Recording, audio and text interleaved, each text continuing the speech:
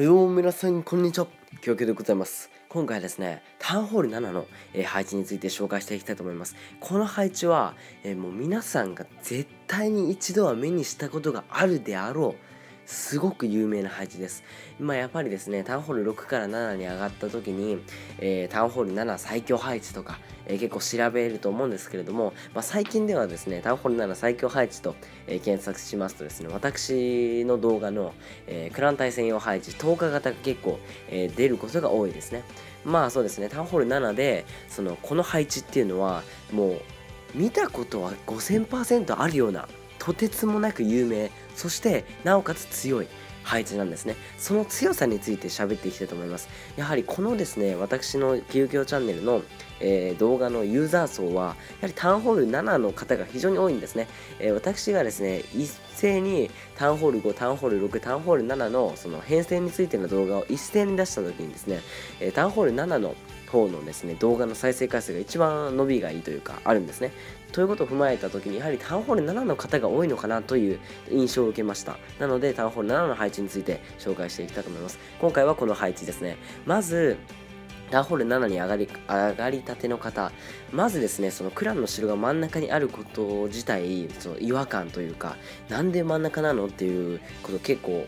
思うと思うんですけれども、まあ、そこそこのクラン、まあ、中堅より上ぐらいですとやはりレベル5のウィザードであったりレベル5のアーチャーそしてレベル6のアーチャーとか、えー結構ですね高レベルな、えー高レベルというかウィザードの高レベルそしてアーチャーの高レベルなどがもらえることが多いと思うんですね。この配置は基本的には資源資源を守る配置なので、えーまあ資源を守りたいじゃないですか。そうするとですね、えーまあ、ダークエリクサータンクを真ん中に置くっていう手段もあるんですけれどもまあそうですね。まあ基本的にはまあちょっと真ん中にはその全体を守れるような防衛施設を入れたいんですね。例えるならばタウンホール9とかですとやっぱ巨大クロスボウとかそういうものがあるんですよ。そうした時にですねタウンホール7で、えー全面的にカバーできるのってやはりクランの城だと思うんですね、えークランの城が真ん中にある理由というのは、まあ、先ほど、まあ、今言ってきた通りなんですけれども、まあ、基本的には援軍がですね出てきますよね。例えばもうタウンホール7ぐらいですと援軍を釣らないで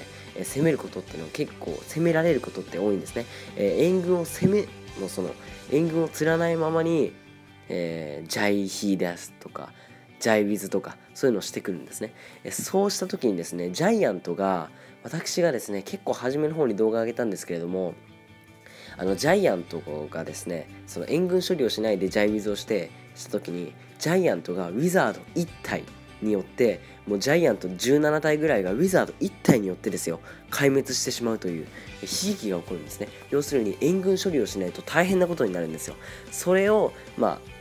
まあ、その援軍処理をちゃんとしてこないプレイヤーに対してやはりクランの城っていうのは非常に大きな役割を果たしてくれますね。そして、えーっとこのやはり、えー配置の強みというのはやはりその部屋の数が多いっていうことですね部屋の数が多いとやはりジャイアントいやまあそうですゴブリンとかまあジャイアントとかウィザードとかね結構侵入するのが大変ですし、えー一つのその部屋に入ったところで、えー金庫一つしか破壊できないとかエリクサーポンん？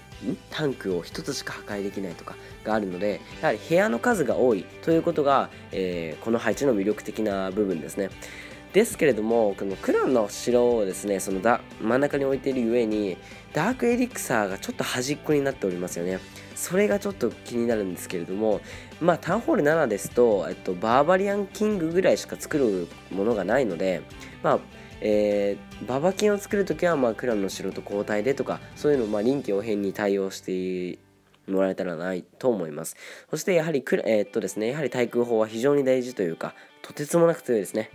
まあ基本的なそのジャイヒー対策であったりドラゴン。まあドラゴンはまあ攻められたらまあほぼ終わりですけれどもタウンホール7ですと、えーまあジャイヒー対策にはなるかなと思います。そしてですねえウィザードの位置がえ結構ミソで、えーそのやはりその迫撃砲とえ近くに左側のですねウィザーの塔を見ていただきたいんですけれども迫撃砲の近くに置くことによって、えーもう非常にですねその迫撃砲って近くは攻撃できないじゃないですか。そこをウィザードによっておまあその補うということができるんですね。まあそうですね。今まで述べてきたようにやはり部屋の数が多い。そしてクランの城を真ん中にしたベース、えーそしてまあその